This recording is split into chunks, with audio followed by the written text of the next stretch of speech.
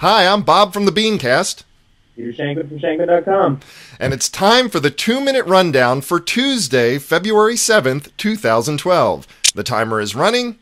Let's get started. Um, Viggle. Viggle is a new app. It's kind of like one of those mobile check-in apps for media, um, much like Into Now and GetGlue, only it's for advertising.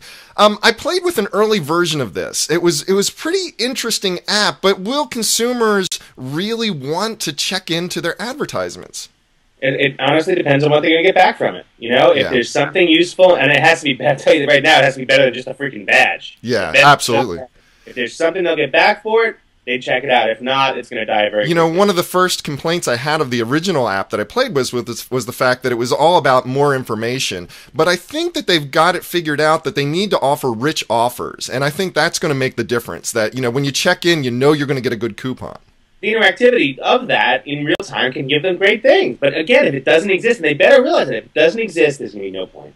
You know, Twitter has a new policy out uh, about blocking posts in certain countries. Caused a lot of controversy when this news came out. But you know, a lot of the pundits, as they started to unpack it, it's not such a bad thing. It's it's kind of just their response to the fact that certain governments are giving them crap about posts, and they they've got to respond for legal reasons, so like for WikiLeaks posts, etc. If it didn't, if they didn't do it, they'd be banned in the country altogether. So it's really, you know, if you have to do it, this is the least, most, least intrusive way to do it. I don't have a problem with it. It, is a slippery slope, though, because when you get into anything to do with um, um, uh, uh, censorship, you get into trouble. But the other option was being kicked out of the country altogether, and had that been the case, we wouldn't have seen anything from Egypt. We wouldn't have Yeah. seen. At least, you know, they're not kicking them out outside the United States. So if, if Egypt is protesting again, we're gonna see that here in the U.S., which is what they want to begin with. Right, right.